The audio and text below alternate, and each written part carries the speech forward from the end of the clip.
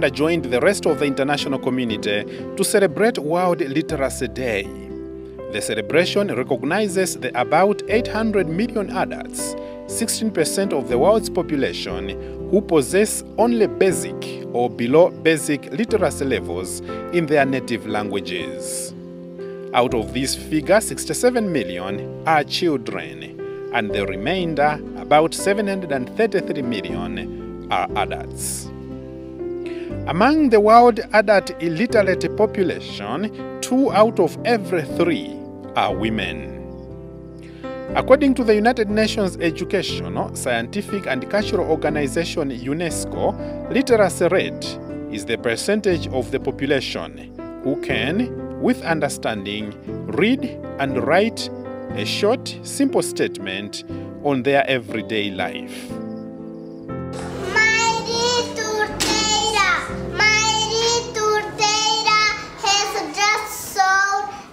straps, without sleeves, without bats.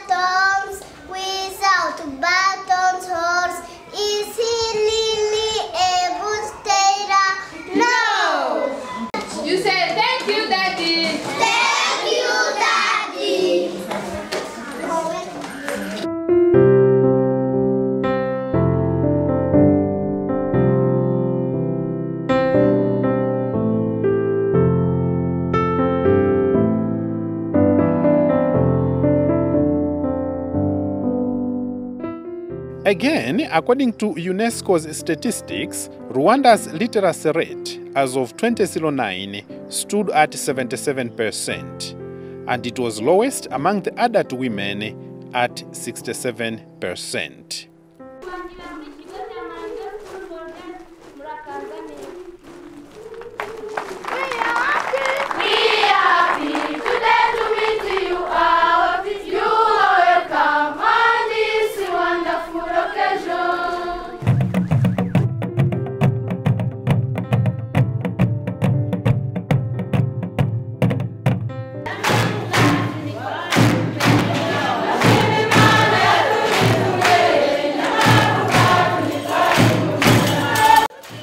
This rate, Rwanda ranks 119th out of 152 countries with available data.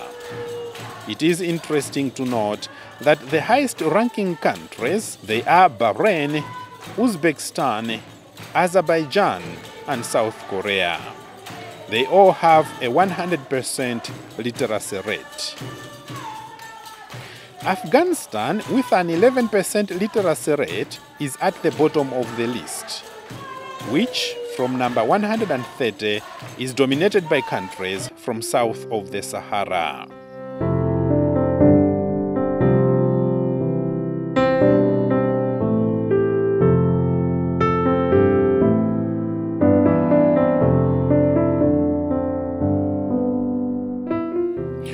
Rwanda's neighbors fare as follows Uganda has an 85% literacy rate and is on position 107 in the world ranking. Tanzania has a 76.4 literacy rate and is number 123 in world ranking. Burundi follows closely with 76.3% of literacy and ranking 124. The Democratic Republic of Congo has a 62% literacy rating and is on position 138 on world rankings.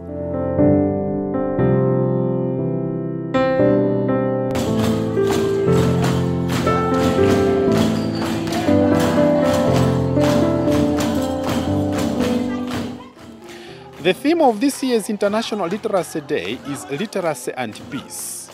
Putting it differently, the role that literacy plays in fostering peace in a community. It is recognized that literacy brings peace where it starts, in the mind. This peace then reflects in one's behavior and conduct and permeates across the entire community. To sustain the peace that the country is currently enjoying, it is imperative that efforts are put in place to improve the country's literacy rate to higher than the current levels.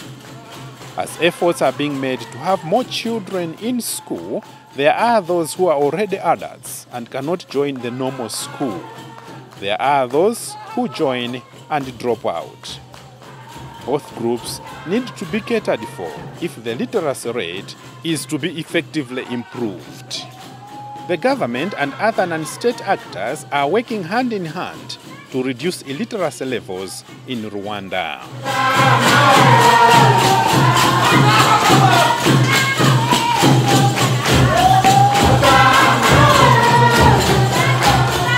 One of the non state actors that work to reduce illiteracy levels in Rwanda is the Adventist Development and Relief Agency, ADRA.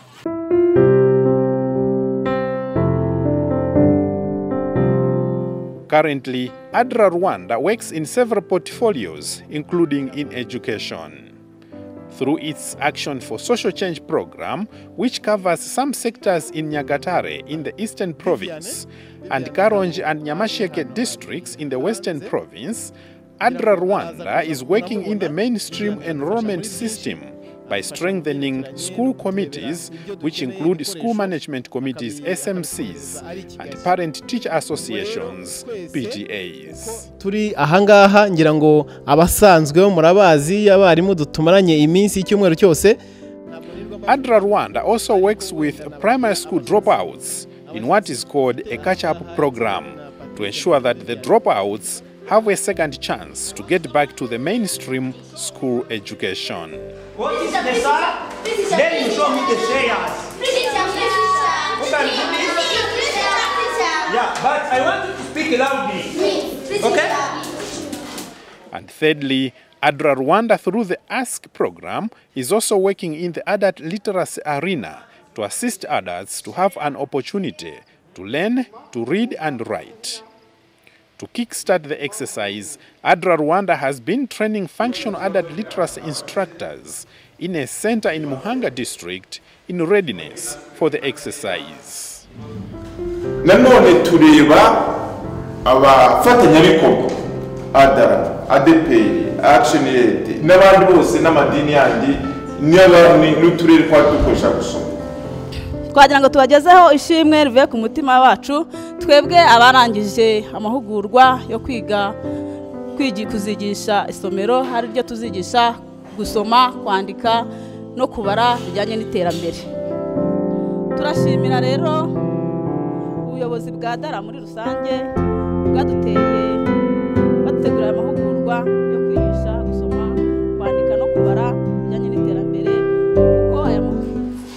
interuro yawe iravuga ngo erega birashoboka. Ndavuga. Ndavuga nshize amanga aho u rwanda ruvuye n'aho rugeze ubu erega biratangaje cyane. Reka nkubaze munyarwanda nawe munyarwandakazi.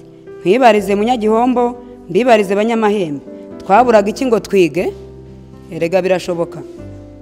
Nkwibarize n'ikindi iterambere ko rije abakuru n'abato ngo bige witeguye kwiga ngo wibonere icyo wari warabuze.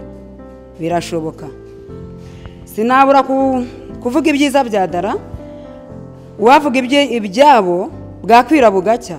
Uko mudukunda twe tubakunda kurushaho. Kuvuga ibyo mukora ni ingenzi. Gahunda y'amakarabu mwashyizeho mu magereza no hanze yayo yageze ku ntego mu gihe gito. Erega bizashoboka. Twahuye tutaziranye.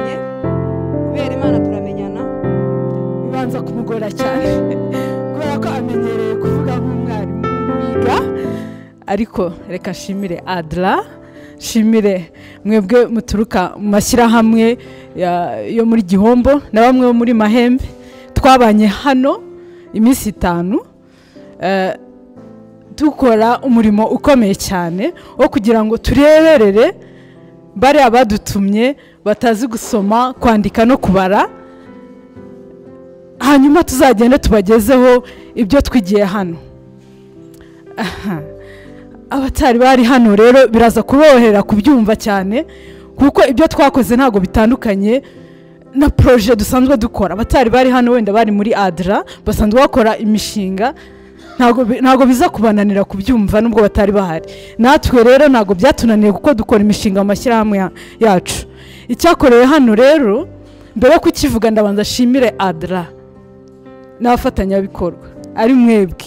Kuko mwari mufite icyerekezo cyumvikana Ah, nehemiya nanjye ubwanjye byatworoheye kugira ngo tubashe kuyobora eh, inyigisho zabereye ahangaha kuko tuvugana na adara bwa mbere twasanze bafite icyerekezo badusobanurira icyo bashaka natwe bitworohera kubitegura no kubiyobora.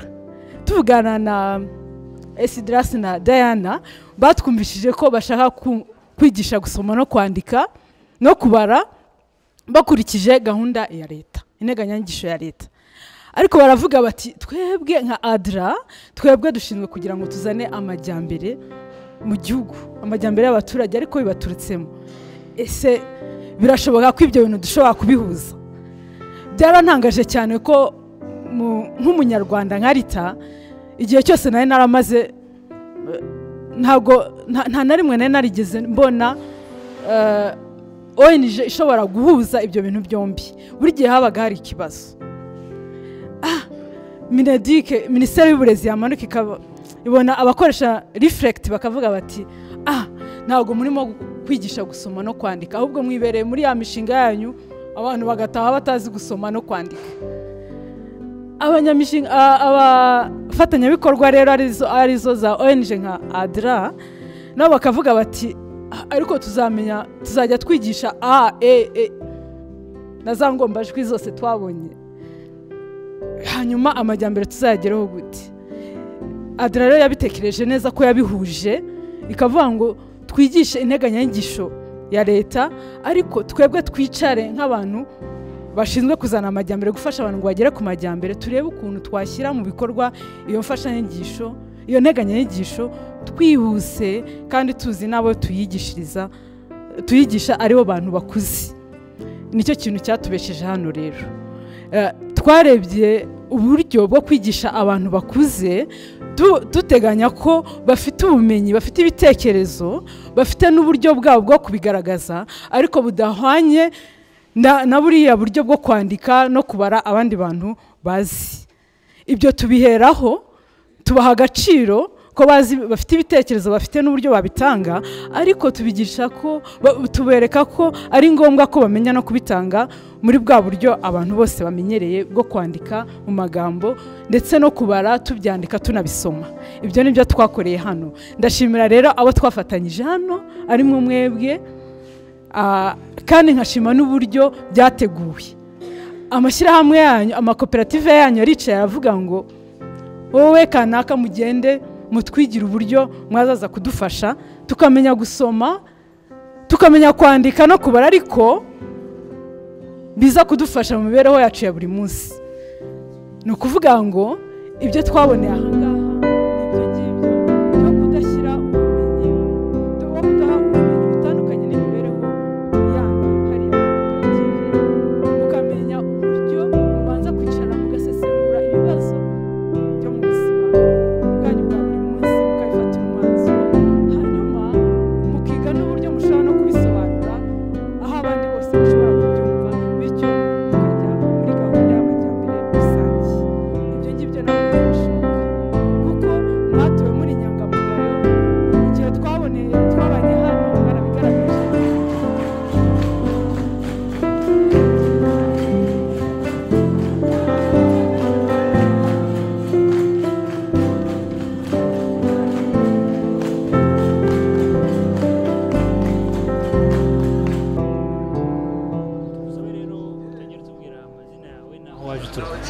muri nitwa nkaka jerime naje nturuka mu murenge wa gihombo kagari ka jarama umudugudu ni uwa buseso.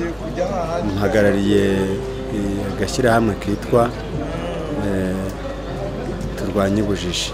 Turwanye ubujiji. Jeremy watangira utubwira ah, mu ncamake ibyo mwahuguwemo hano mu gihe cy'iminsi itanu muhamaze ibyo twahuguyemo byo ni byinshi ariko cyane cyane icyo twahuguyemo ni ibyerekeranye kwiga kwandika gusoma kwandika no kubara ku- twigisha abantu bakuze. Aho ngaho twabonyemo isomo ryiza ritandukanye n'uko twatwigisha kuko twigishaga usanga yuko hari uburyo bushya bwa reflect twabonye butuma utegura isomo neza nk'ugisha umuntu mukuru nk'utigisha umwana. Ku buryo umuntu mukuru yabyumva kandi akanabikunda kandi bikamutera no kuba yajya abyitaho kuko mbere twafataga wenda abantu twashyira tukigisha uko nk'abantu bigisha abantu batoya ariko twasanzeho noneho ko umuntu agomba guhera ku bitekerezo cyangwa se ku bintu biboneka aho ngaho umuntu mukuru akaba yakivumburira isomo akaryiga yumva arikunze ibyo ni nk'ibiki? Nk'urugero ni ukuvuga ngo hari igihe yaza akicara ukamubwira inyuguti ugiye kwiga ariko tuba tuba- tubanza ikiganiro kigendanye n'imibereho dufite mu ngo zacu cyangwa se ku buzima duhura nabwo.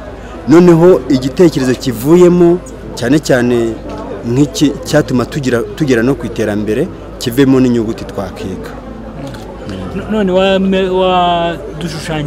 u- uko ugiye kubikora? Ubu hano mu minsi itanu wahuguwe uko wakwigisha gusoma kwandika no kubara bishingiye ku bumenyi ngiro bw'abakuze. None mera nk'udushushanyiriza tubwire ukuntu ugiye kubigenza. Ni ukuvuga ngo ningerayo hari uko tubanza kubona abanyeshuri abigishwa ari bo ndetse noneho tutakita abanyeshuri twise abungurana-bitekerezo baza bakicara tukabaganiriza ikiganiro wenda ntanze nk'urugero hari ukuntu tuvuga nko ku byerekeranye no eh, nk'ukuntu mu giturage tudakunda kugira amazi meza. Tukakiganiraho impamvu tutayabona. Tugasanga ko impamvu tuyabona wenda ari uko amasoko yacu yapfuye cyangwa se ari uko tutayitaho kuyagirira isuku noneho icyo kiganiro tukakizaho tugafata umwanzuro w'icyo tuzakora kugira ngo amazi meza tuyagire.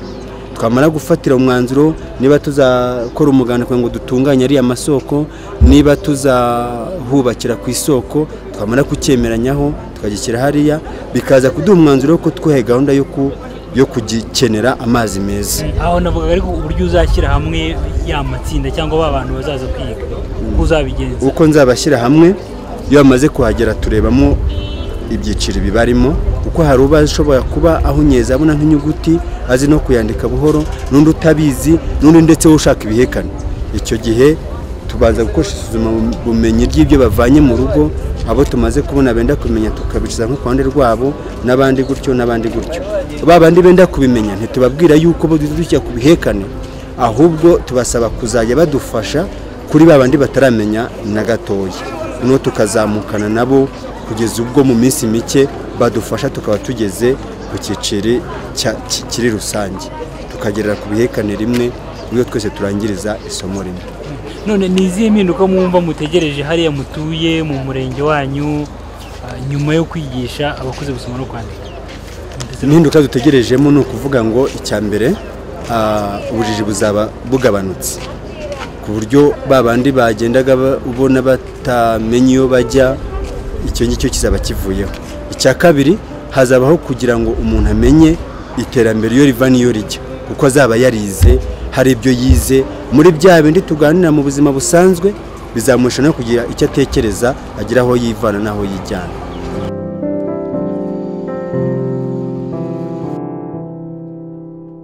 Nitwa Mukamakuza Leonira nkaba naturutse mu murenge wa Gihombo muri koperative ya Kojipro kandi na perezidante wayo.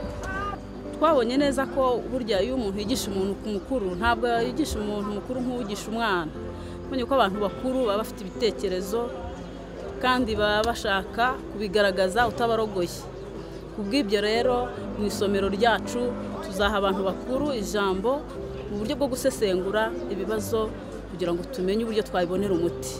Tuzafatanya nabo gutanga umuti w'ibibazo dufite dukuremo inyito y'icyigisho tugiye kuzi- kwiga ndetse dukuremo n'inyuguti twiga bityo dukorane n'ibiganiro kugira ngo tugere mu isomo ryo kubara kandi ibyo biganiro bidushyitse ku mibare nyirizina tuziga. Turumva nibamara kwiga gusoma kwandika no kubara bazaba bafite ibintu byinshi bazageraho. Ubwabo bazaba bazi kwiyandikira gusoma no kwandika kandi babe bamenya no gufata impine z'ibyo basomye cyangwa banditse. Bazaba bahagarara bakisomera disikuru bakitegurira umushinga ubateza imbere kandi bagatinyuka gutanga ibitekerezo mu bandi.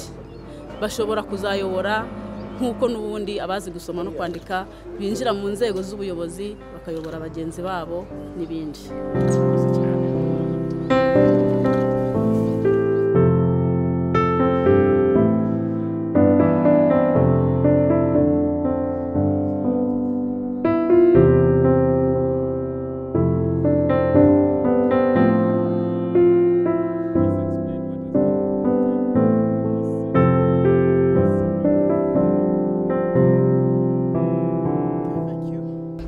Names are Nzeimana Estras. I am uh, the education coordinator for Adwa Rwanda and uh, I am in, based in, in uh, Karongi district uh, where we have the operation areas Karongi being Karongi and uh, Nyamasheke districts. Uh, in Nyamasheke, we operate in three in three sectors. Sorry, and uh, in Karongi we work in five sectors. So we, from the training that we have been here, we have called people from uh, Jihombo sector of Nyamasheke district and uh, people from uh, Mahembe to come and attend the training, and the training is all about reflect. Uh, these are the people who will be teaching adult literacy in the community, and uh, these people were called to have knowledge about reflect as it is a new approach in Rwanda, and uh, they need it because they will be the one responsible for this teaching of reflect. When the trainees realized that this year's theme for World Literacy Day is literacy and peace, they demonstrated their interpretation of the theme through a play.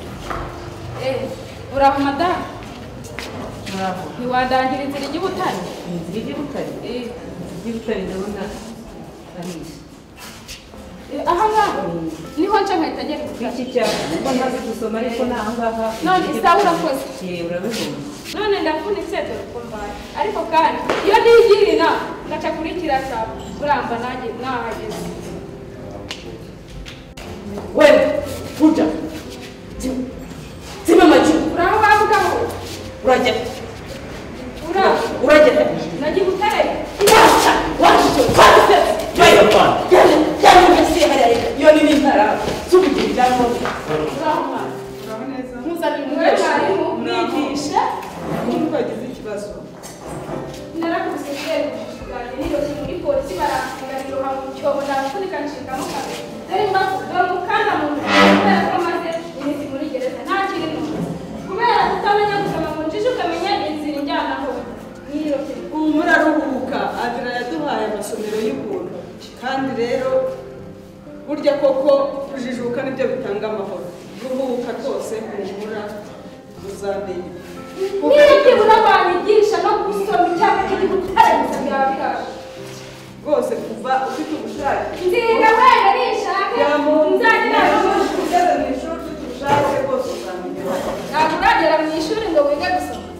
bya byapa wayoboragaho byose byari umuvumo.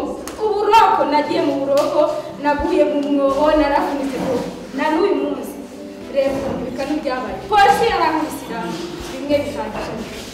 Ariko rero nifuza ko nawe wagera mu ishuri ukajijuka ukamenya gusoma no kwandika. Dore yashyizeho amasomero y'ubu.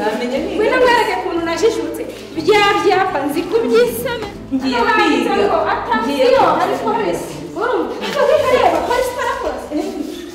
Eh, bisa mati dah ni. Apaan sih, apa ni sih? Ah! Ini baru tu dia bukan. Kita nak mereka isu biru ini. Esok saya menang. Biar dia syarat sebelum. Kau ni jangan jangan kau ni rumah apa? Jadi kamu rumah sih tak jalan itu harus apa? Tapi dia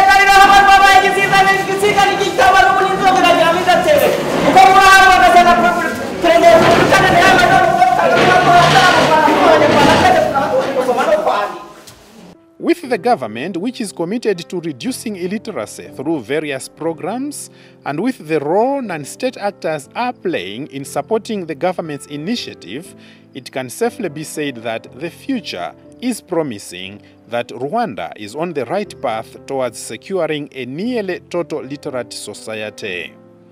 As the country joins other countries in celebrating World Literacy Day, it is important for all of us to remember why literacy is important. Literacy is a human right, a tool of personal empowerment, and a means for social and human development. Educational opportunities depend on literacy. Literacy is at the heart of basic education for all and essential for eradicating poverty, reducing child mortality, curbing population growth, achieving gender equality, and ensuring sustainable development, peace, and democracy. There are good reasons why literacy is at the core of education for all. A good quality basic education equips pupils with literacy skills for life and further learning. Literate parents are more likely to send their children to school. Literate people are better able to access continuing education opportunities. And literate societies are better geared to meet pressing development needs. Happy World Literacy Day to you all.